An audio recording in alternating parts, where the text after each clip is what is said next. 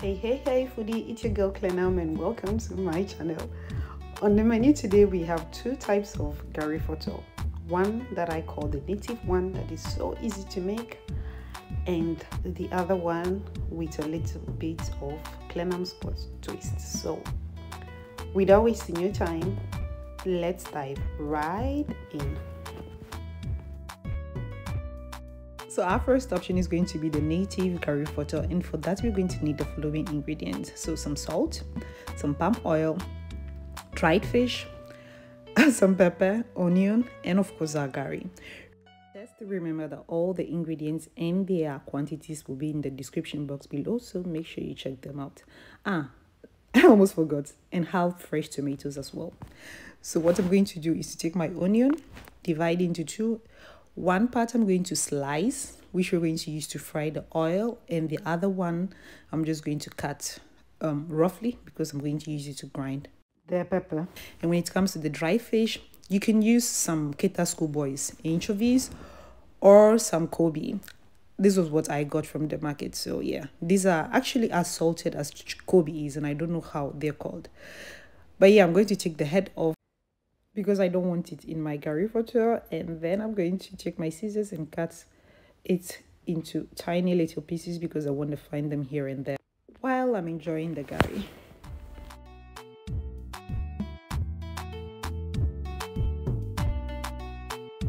Let us now move to the part that requires muscle strength and that is grinding the pepper.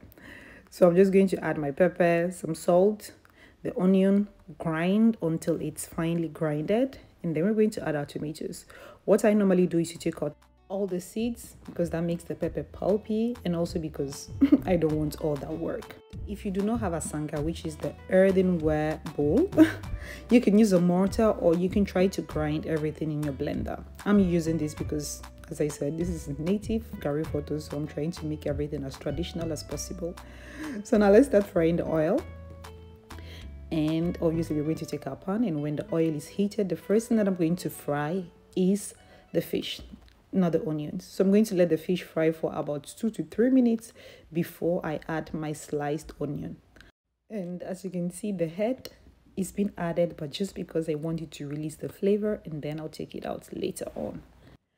So at this point you have two options. You can either choose to fry the grinded pepper a bit in the oil before you add your gari or you can choose to leave it in the um, asanka. I choose to leave it in the asanka because that kind of remind me of my childhood during which we actually ate gari fortor just like the way I'm doing it in this video. So now we're going to take some warm water, add some salt to taste, and then we're going to take a bowl, throw our gari in there, and we're going to add the water gradually.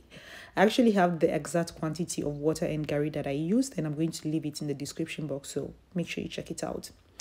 So all you have to do is to gradually add your water and then fill it with your hands to see whether the softness is okay for you.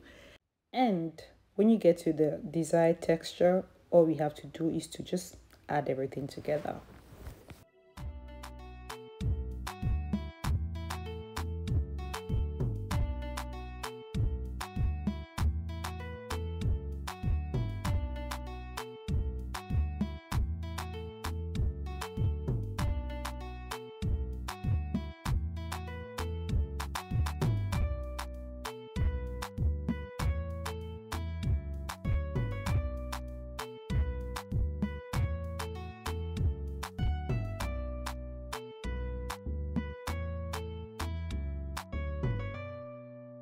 And just like that in less than 15 minutes our gari fortor is ready.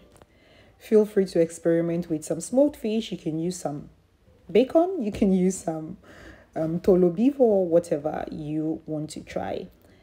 So that is it for the first option. Let's now move on to the second option. And we're going to need the following ingredients. So some green pepper tomatoes pepper scotch bonnet pepper onion stock cube vegetable oil salt um, corned beef, my chicken broth, which is optional, and my gari, of course. As usual, all the quantities will be in the description box below, so make sure you check them out. Now, let's get the party started. So what I'm going to do is to slice my ingredients. So the onion, the pepper, which I chopped actually, going to chop my scotch bonnet pepper as well and my tomatoes when I'm done with all of that, I'm going to go ahead and fry. trying to make it as easy as possible for you guys. no long things. So we're going to add our vegetable oil on fire. Add the onion, fry it for about a couple of minutes until it's caramelized. And then we're going to just throw our tomatoes in there. So at this point, everything should be cooking on a medium to low heat. And after adding the tomatoes, it's going to be the turn of the scotch bonnet pepper and the stock cube and the broth as well. And after cooking the whole thing for a couple of minutes, I'm also going to add my corned beef and my green bell pepper. After adding the green bell pepper, we're going to increase the heat so everything goes faster. And I also left a little bit of the onions at the beginning whilst I was frying and I'm going to add that as well together with the um, chopped bell pepper.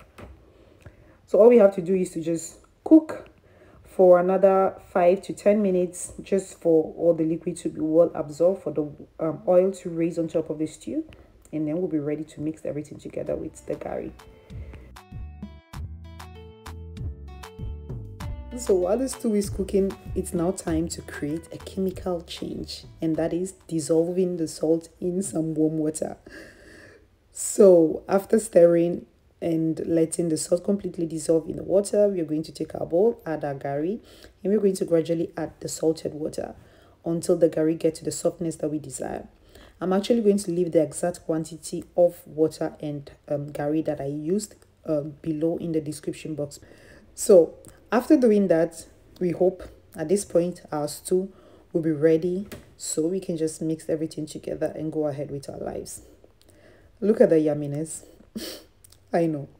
So this should be the result after cooking your stew.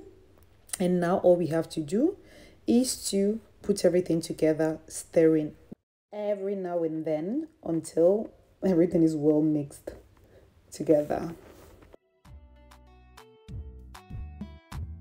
And just like that, voila, our gari is ready. And as you can see, I sprinkled some chopped um, bell pepper on top of it with some fresh tomatoes. Actually the tomatoes are just there to add some color to the whole presentation.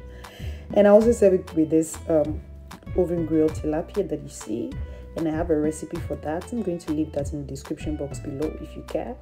And here you have your two options. On one hand you have your option for the non palm oil lovers i might say.